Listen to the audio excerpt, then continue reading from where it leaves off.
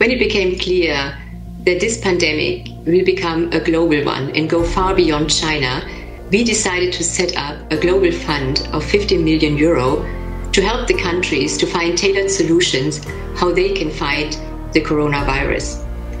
Actually, we have so far donated more than 12 million euros in cash, product, and also in kind across more than 60 countries.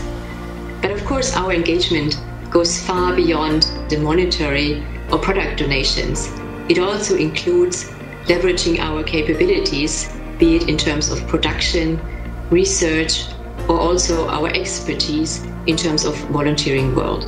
We have a five pillar approach to combat the virus, and this ranges from creating awareness to providing protective equipment like gloves or masks to mitigating the acute crisis like building up the healthcare system and then also providing medication for clinical studies and also supporting research to find long-term solutions.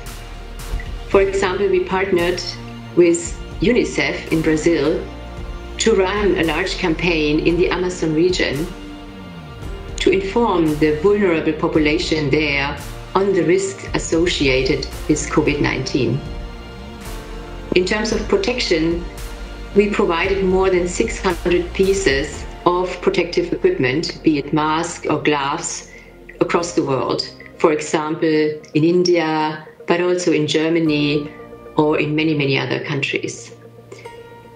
In addition, also our colleagues from product supply repurposed parts of their plants to produce disinfectants. And we were able to provide more than 50,000 liters of disinfectants to local communities in Germany, but also in Mexico. So a large part of our activities goes actually to mitigate the acute crisis. For example, we donated more than 1 million euro each in Spain and Italy to help to build up the healthcare system. But we are also supporting the healthcare workers who are working under really extreme conditions.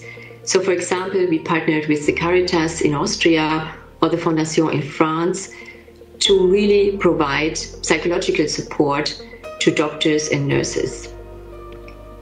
So, when it comes to treatment, we are providing medication for clinical trials to evaluate their potential to combat COVID 19, like, for example, Resochin or Betaferon. But we are also helping to build up safe places for non COVID patients, like, for example, in Israel, where we helped to establish a facility for EYLEA patients to get their eye treatment without being at risk of getting infected. And finally, we also contribute with our research activities to find new treatments uh, for COVID 19. For example, we partnered with the Bill and Melinda Gates Foundation in their therapeutic accelerator program and are here opening up our substance library to find new medications and treatment options. For all our activities, we got a really positive resonance, be it from media or the local communities and the governments. So they really appreciated our tailored approach and that we took really bold steps in order to help and combat COVID 19 in this situation. And it also shows that we have all together a huge potential. And of course, we can only do this together, together with all of you, that we can have an impact and really make a change. So thanks to all of you for your help and also your support in this situation.